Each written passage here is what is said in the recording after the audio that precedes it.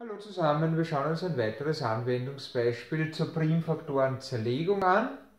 Die Zahl 300 wollen wir versuchen zu zerlegen mit Hilfe der Primfaktorenzerlegung. Wir wissen, wir brauchen unsere Primzahlen, wir kennen sie schon mittlerweile. Primzahlen sind Zahlen, die ich nur durch 1 und sich selber dividieren kann. Also 2 ist die erste Primzahl, die es gibt, 3 die nächste, 5, 7 und so weiter. Bei der Primfaktorenzerlegung beginnen wir immer mit der kleinsten Möglichkeit. Die kleinste Primzahl ist 2. Wir überlegen, können wir unsere Zahl durch 2 dividieren oder nicht. Ja, das geht nach der Teilbarkeitsregel für 2. Eine Zahl ist durch 2 teilbar, wenn die Einerziffer 0, 2, 4, 6 oder 8 beträgt. Ist der Fall, 300 geht durch 2 teilen, wir können das sogar im Kopf machen, das ergibt 150. Okay? Weiter geht es wieder mit der Überlegung 2. Wir überlegen so lange mit 2, bis es nicht mehr geht. Kann ich 150 durch 2 teilen oder nicht? Na geht nach der Regel natürlich wieder. Und das kann ich wieder im Kopf. 150 durch 2 ergibt natürlich 75.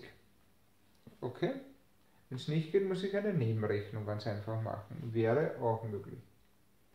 Wieder kann ich 75 durch 2 teilen oder nicht?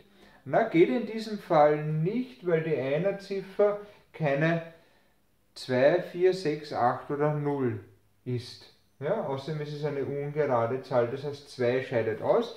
Ich nehme die nächste Möglichkeit. Die nächste Möglichkeit wäre 3. Kann ich 75 durch 3 teilen? Wann ist eine Zahl durch 3 teilbar? Wenn ihre Ziffernsumme durch 3 teilbar ist. Ziffernsumme, das heißt, ich rechne 7 plus 5, das ergibt 12. Kann ich 12 durch 3 teilen? Ja dann kann ich 75 auch durch 3 teilen. 75 durch 3, entweder Nebenrechnung oder im Kopf, ergibt 25. Weiter geht es wieder mit der 3. Kann ich 25 durch 3 teilen? Wie groß ist die Ziffernsumme von 25? Die ergibt 7. 2 und 5 ergibt 7. Kannst du 7 durch 3 teilen? Nein. Somit kannst du 25 auch nicht durch 3 teilen. Geht nicht. Nächste Primzahl, die wir kennen, wäre die 5. Kannst du 25 durch 5 teilen? Ja, das geht, weil die Teilbarkeitsregel von 5 lautet, eine Zahl ist durch 5 teilbar, wenn die Einerziffer entweder 0 oder 5 ist. Ist hier der Fall. Wir können durch 5 dividieren. 25 durch 5 ergibt 5. Weiter geht es logischerweise wieder mit der 5. Kannst du 5 durch 5 teilen? Ja, kannst du. 1 bleibt übrig. Und somit sind wir mit der Primfaktorenzerlegung schon fertig. Wir können das Ergebnis anschreiben. 300 kann ich als Produkt von Primzahlen anschreiben indem ich sie einfach multipliziere. 2 mal 2 mal 3 mal 5 und mal 5. 300 zerlegt in ein Produkt aus Primzahlen.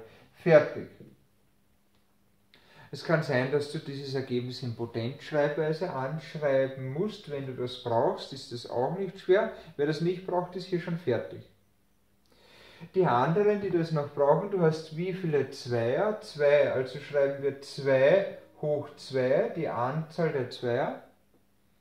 Mal du hast einen Dreier, also brauche ich keine Hochzahl mal 5. Wie viel 5 hast du? 1, 2, also auch hoch 2.